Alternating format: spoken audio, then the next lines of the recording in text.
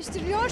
İki tane öğrenci Türk bayrağı Atatürk'ün Manisa'ya ilk ziyaretinin 92. yıl dönümü nedeniyle Manisa Tren Garı'nda temsili karşılama töreni yapıldı. getirdikleri Türk bayrağı ve Atatürk posterini de teslim ettiler. Manisa Valisi Mustafa Hakan Güvençer, Tugay Komutanı Albay Güvendere, Büyükşehir Belediye Başkan Vekili Mehmet Palabıyık, Cumhuriyet Başsavcısı Ahmet Çiçekli, vali yardımcıları, kaymakamlar, belediye başkan yardımcıları, daire başkanları, STK temsilcileri ve askeri erkan tren garında atayı taşıyan treni karşıladı. Bu trenden inip Manisalılarla selamlaşmıştı ve şu anda Trenden Atatürk portresiyle inen öğrenciler, Vali Güvençer'e taşıdıkları Türk bayrağını teslim etti.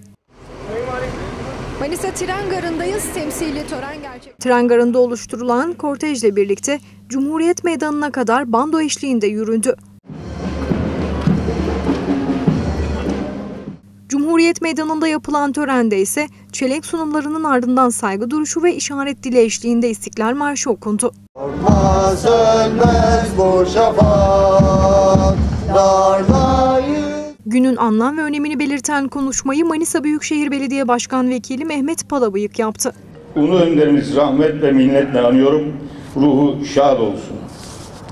Değerli Azul, Kurtuluş Savaşı'nın başladığı 19 Mayıs 1919'dan ulusal bağımsızlığımızı ilan ettiğimiz 9 Eylül 1922'ye kadar geçen süreçte milletimiz birçok acı, gözyaşı ve bedel ödemiştir.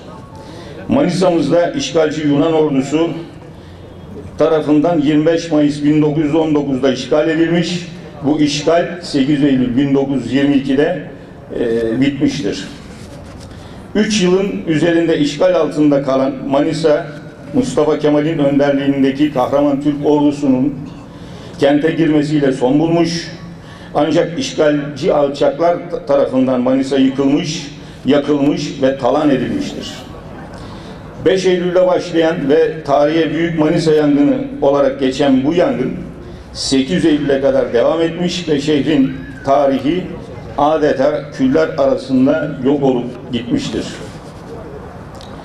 Kıymetli hemşehrilerim, Cumhuriyet'in ilanından e, arkasından yaraları sarmak için Anadolu'yu karış karış gezen Büyük Önder Mustafa Kemal Atatürk 10 Ekim 1925'te Manisa'ya gelmiş. Dönemin belediye başkanı Bahri Sarıtepe ve binlerce Manisalı tarafından coşku ve heyecanla Manisa Garı'nda karşılanmıştır. Büyük lider Manisa'da konaklayarak kent insanıyla kucaklaşmış, coşkulu kalabalığa hitap etmiş, Manisa insanına öğütlerde bulunmuştur. En büyük öğütlerinden biri de yakılıp yıkılan şehrin imar planlarının yapılması olmuştur. İlk imar planı e, Cumhuriyetimizde Manisa ilinde yapılmıştır. Parantez içinde söylüyorum ve yılı 1928 yılıdır. Bu büyük şahsiyetin Manisa'ya gelişinin kutlanması, resmi kutlamaların dışında genç nesillere en iyi şekilde anlatılması açısından önemlidir.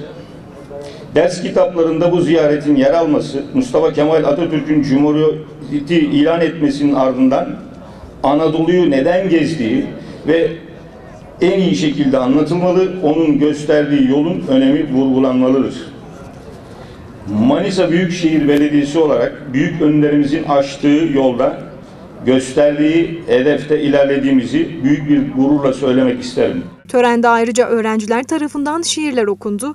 92 yıl önce dönemin belediye başkanı Bahri Sarıtepe'nin Atatürk'e yaptığı konuşma ve Atatürk'ün cevabı duygu dolu anlar yaşattı.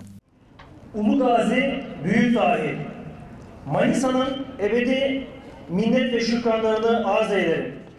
Törenin ardından Fatih Sergi Salonu'nda Atatürk fotoğrafları ve kitapları sergisinin açılışı gerçekleştirildi.